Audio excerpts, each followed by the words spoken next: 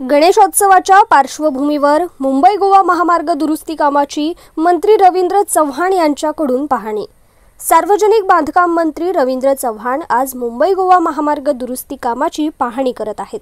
पनवेल विश्रामगृह येथून मंत्री चव्हाण यांच्या दौऱ्याला प्रारंभ झाला असून पळसपे ते इंदापूर या चौऱ्याऐंशी किलोमीटरच्या पहिल्या टप्प्याची मंत्री चव्हाण यांनी पाहणी केली आहे.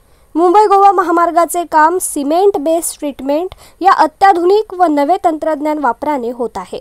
गणेशोत्सवापूर्वी एका लेनचे काम पूर्णत्वास येईल व डिसेंबरपर्यंत दुसऱ्या लेनचे काम पूर्ण होईल असा दावा रवींद्र चव्हाण यांनी केला होता. कामाचा दर्जा व गती याची आज चव्हाण यांनी पाहणी केली व अधिकाऱ्यांना मार्गदर्शन सूचनाही दिल्यात. दुसऱ्या टप्प्यात वडपाले ते भोगाव भोगाव ते कशेडी कशेडी ते चिपळूण असा त्यांचा पाहणी दौरा असणार आहे.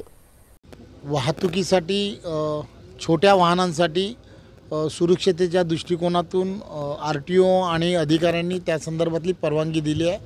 परंतु आम्हीही त्यांना सांगितलं आहे की कशेडी जो घाट आहे त्या घाटामध्ये मोठ्या प्रमाणामध्ये दरवर्षी जी ट्रॅफिक होते ती एस टी आणि प्रायव्हेट ज्या लक्झरीज आहेत त्याच्यामुळे होत असते. त्यामुळे जर सुरक्षिततेसाठी काही अडचण नसेल तर आपण या सगळ्या वाहनांना जड वाहतूक नाही परंतु एस टी आणि ज्या प्रायव्हेट व्हेकल्स ज्या मुलाला लक्झरी बसेस ज्या आहेत यांना जर आपण परवानगी देऊ शकलो तर चांगलं होईल.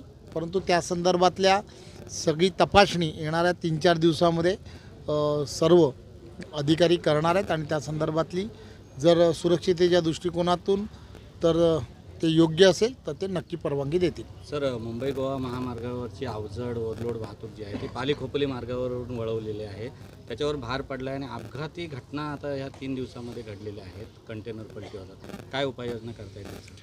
खरं तर हा जो रस्ता आहे हा रस्ता आणि हा जलद गतीने व्हायला हवा या दृष्टिकोनातून आपण वाहतूक जी आहे ती पाली या मार्गाने नेण्याच्या संदर्भातला निर्णय हा त्यावेळच्या काळामध्ये केला. या वाहतुकीच्या दृष्टिकोनातून ज्या ज्या उपाययोजना करायला हव्यात त्या उपाययोजना आपण त्याही भागांमध्ये मोठ्या प्रमाणामध्ये करण्याचा प्रयत्न करतो.